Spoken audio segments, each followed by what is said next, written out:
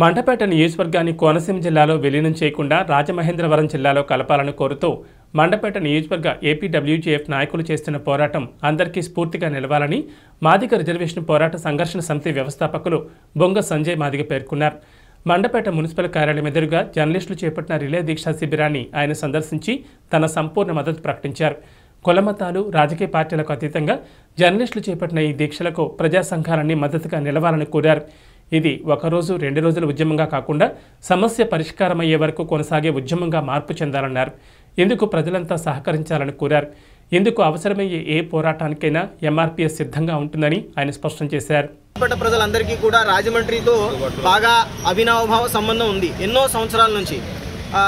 రాజమండ్రి వెళ్ళి రావాలంటే కనీసం ఒక గంట కాల పరిధిలో మేము వెళ్ళి వచ్చేస్తాం. దీన్ని తీసుకెళ్ళి అమలాపురంలో కలిపితే ప్రజలు ఇక్కడ అనేక రకమైనటువంటి ఇబ్బందులను ఎదుర్కొంటారు.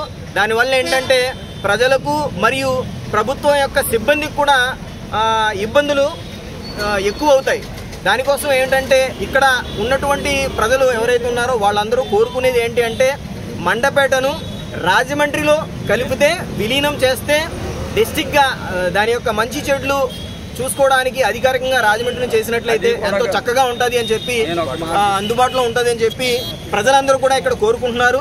ప్రభుత్వాలు నిర్ణయించేటటువంటి ఇది ఏంటి అంటే ప్రజల యొక్క మంచి చెడులను ఆలోచించి ప్రజలు ఏ విధంగా దాన్ని మంచి అని గుర్తిస్తారో దాన్ని ఆమోదం చేయాలి తప్పించి వారి యొక్క అభిప్రాయాల్ని ప్రజలపై రుద్దడానికి కానీ లేకపోతే వారికి ఏదో లాభం జరుగుతుందని చెప్పి ప్రజలను భ్రమ పెట్ట ఇబ్బంది పెట్టడం కానీ ఇది సరైనటువంటి ప్రభుత్వాల యొక్క ఉద్దేశం ఎంత మాత్రం కూడా నిర్ణయం కాదు.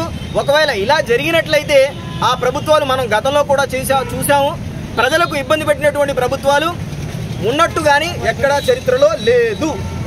ఇది మనం ఖచ్చితంగా తెలుసుకోవాలి. ప్రజలను ఇబ్బంది పెట్టేటటువంటి పనులు ఎట్టి పరిస్థితుల్లో కూడా ప్రభుత్వాలు చేయకూడదు. అది అని మేము ఈ సభాముఖంగా ఏంటంటే వీళ్ళందరూ మా మిత్రులు పాత్రికేయ మిత్రులందరినీ మేము హృదయపూర్వకంగా అభినందిస్తూ సంఘీభావం తెలియపరుస్తూ మా యూనియన్ తరఫున కూడా మేము వీరికి సంఘీభావాన్ని తెలియపరచడం జరుగుతుంది.